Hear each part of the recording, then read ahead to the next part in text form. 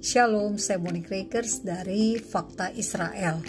Saudara, kali ini saya ingin meluruskan narasi Natsua Shihab soal sepak bola Israel dan Palestina.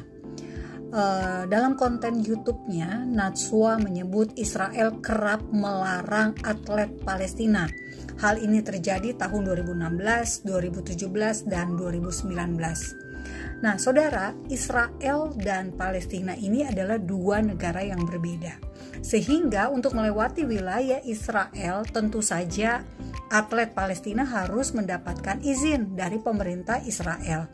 Nah, Badan Keamanan Israel, Sinbad, biasanya akan mengkaji izin yang eh, permintaan-permintaan izin dan mereka akan melihat apakah orang yang mengajukan izin itu layak diberikan akses untuk melewati wilayah Israel.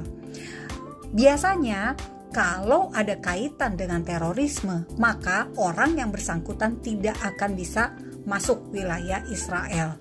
Dan tentu saja sah-sah saja bagi Israel untuk menolak memberikan izin bagi siapa saja yang dianggap berbahaya.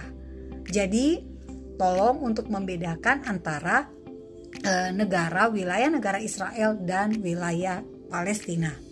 Nah, kedua, Natswa menyebut tahun 1964 Israel membubarkan kompetisi uh, independen rakyat Palestina dan menangkap penyelenggaranya. Berdasarkan riset yang saya lakukan, yang dimaksud Natswa uh, adalah sebuah gerakan politik Arab uh, yang dilarang Israel sebab aktivis Al Art uh, ini nama kelompok tersebut uh, ada aktivis yang bernama Saleh Baransi. Dia menggunakan olahraga sebagai alat politik. Padahal saat itu ingat tahun yang disebut Natswa adalah 1964 tahun 1964 Uh, pada saat itu Israel sedang gencar-gencarnya mengajak orang Arab Palestina yang memilih menjadi warga negara Israel untuk uh, mempunyai jiwa nasionalis sebagai warga negara Israel. Kan mereka Arab Palestina yang memilih menjadi warga negara Israel.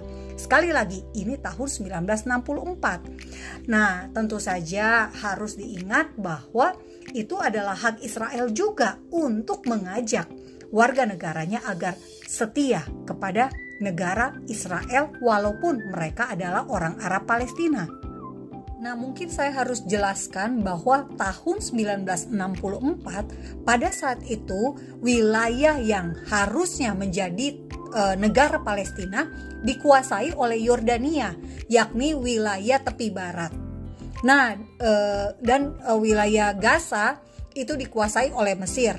Nah, jadi pada saat itu tentu saja Israel maunya nih Arab-Arab Palestina yang ikut jadi negara yang menjadi warga negara Israel, ayo dong eh, nasionalis dong terhadap Israel. Jangan nasionalisme Anda itu eh, ngikutin Yordania atau ngikutin Mesir Nah, jadi secara konteks tentu bisa dipaklumi, bisa dipahami mengapa jika ada di dalam negara Israel ada uh, sepak bola Arab Palestina, tentu itu mengganggu uh, visi besar dari negara Israel untuk mengajak orang-orang Arab Palestina ini masuk uh, di dalam nasionalisme Israel. Nah, itu ya di tahun 64.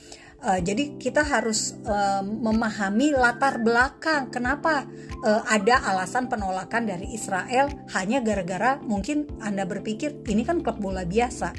Nah, patut diingat juga tahun 1964 baru uh, berdiri uh, yang namanya PLO, Organisasi Pembebasan Rakyat Palestina oleh Yasser Arafat. Nah, ketiga, Natswa menyebut uh, bahkan ada teror ditembakin stadionnya. Nah, ini saya perlu bertanya, lokasinya di mana dan peristiwa yang terjadi itu kapan? Nah, yang keempat saudara, Natswa menyebutkan ada pesepak bola yang ditembak mati tahun 2020. Nah, nama pemain sepak bola yang tewas itu adalah Ahmed Darakme. Pemain di kota di klub di kota Tulkarem, Palestina. Tetapi Darakme ini tewas setelah baku tembak dengan pasukan pertahanan Israel IDF di kota Nablus. Ada video Darakme beraksi membawa senjata, bukan sedang beraksi di lapangan hijau. Nah, kelompok militan di Gaza, yakni Hamas, e, menyatakan duka cita dan jenazah Darakme ditutupi oleh bendera Hamas sebagai penghormatan. Pertanyaan saya, apakah uh, pemain sepak bola yang disebutkan oleh Natswa ini adalah Ahmed Darakme atau ada orang lain? Jika saja yang dimaksud adalah si Ahmed Darakme, nah tentu kita harus hati-hati. Seorang militan berbeda loh dengan warga sipil sebagai yang bekerja sebagai atau berprofesi sebagai pemain sepak bola. Saya berharap tentu saja Natswa mengerti mengapa ada baku tembak di kota Nablus. Di kota Nablus biasanya eh, orang-orang di Palestina, militan di Palestina akan selalu berusaha mengganggu ketika ada orang Yahudi bersiara ke makam Yusuf Yusuf adalah anak Yakub, nama lain Yakub adalah Israel. Kenapa mereka senang, uh, tidak senang jika Israel bersiara ke makam uh, Yusuf? Tidak tahu. Mungkin saja karena mereka tidak bisa menerima perbedaan. Mereka tidak bisa uh, tidak bisa uh, memberikan kesempatan kepada orang Yahudi warga negara Israel untuk me mensiarai uh, Yusuf yang notabene adalah uh, orang Yahudi. Nah, patut diingat Bapak Ibu, Nablus di dalam Alkitab adalah Shikem dan Shikem adalah tanah warisan untuk anak-anak Yusuf. Jadi semoga Mbak Nana paham bedanya ya. Uh, Nana ini adalah nama panggilan buat Natswa. Uh, kami dulu satu pernah satu kantor. Jadi no hard feeling ya Mbak Nana Nah, kelima, Natswa menyebut Israel dan uh, Israel bebas katanya keluar masuk uh, melakukan pertandingan bola di wilayah Palestina. Nah, Natswa di Israel itu ada aturan hukum yang melarang warga negara Israel masuk ke wilayah Palestina. Kalau uh, kalau saja ada tim sepak bola Israel ternyata dibolehkan atau bisa bertanding di wilayah Palestina. Wow, menurut saya ini sangat bagus. Kenapa? Tentu saja ini hal yang positif karena Israel dan Palestina harus justru harus sering-sering main bola bareng supaya makin akrab. Kan ada tuh uh, pepatah yang mengatakan tak kenal maka tak sayang.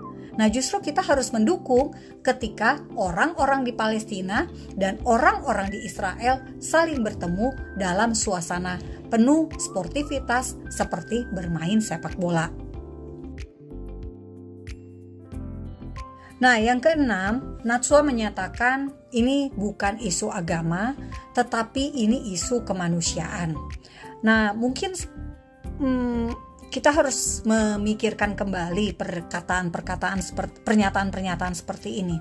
Apa apakah orang Yahudi warga negara Israel itu bukan manusia?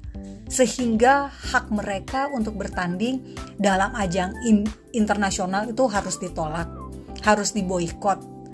E, kan mereka nggak punya e, kasus ya dengan Indonesia.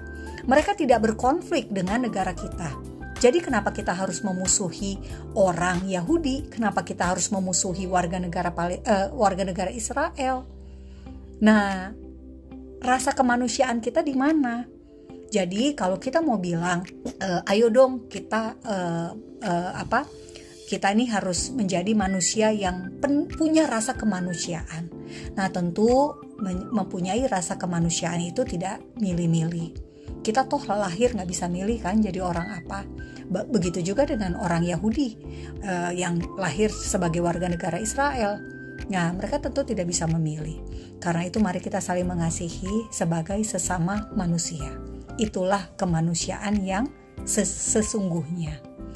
Dan satu hal uh, yang mungkin saya perlu tekankan juga adalah FIFA ini uh, menolak kebencian Tahun 2018, FIFA pernah melarang presiden uh, presiden Asosiasi Sepak Bola Palestina Jibril Rajob uh, terlibat aktivitas sepak bola selama setahun dan denda 20 ribu dolar Amerika.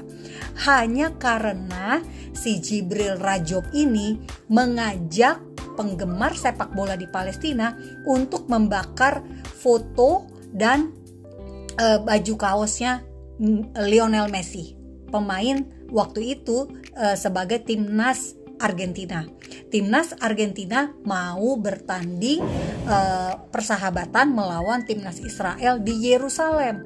Nah, orang-orang di Palestina jadi baper. Bagi FIFA, ini adalah ajakan menyebar uh, kebencian dan dia dihukum. Nah, karena itu, saudara, saya mengajak Anda semua merenung narasi-narasi dari sejumlah tokoh politik, influencer, para selebritas sosial media yang beredar di sekitar kita. Apakah narasi-narasi itu mengajak kita menjadi orang yang cinta damai atau justru menabur benih kebencian?